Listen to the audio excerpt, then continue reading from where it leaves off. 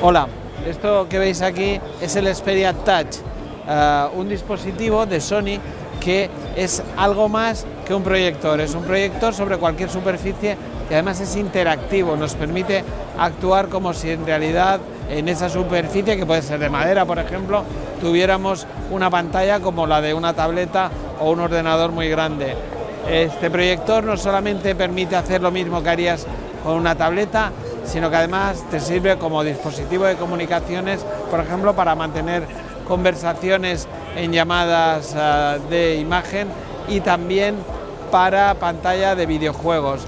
Además, tiene reconocimiento uh, de la mano, puedes con un dedo utilizarlo y uh, utilizarlo como una pantalla en la que toques a distancia. Distingue perfectamente el movimiento del dedo y el movimiento para pulsar en cualquier instante. En definitiva, una máquina diferente e innovadora que trae Sony aquí a este Mobile World Congress.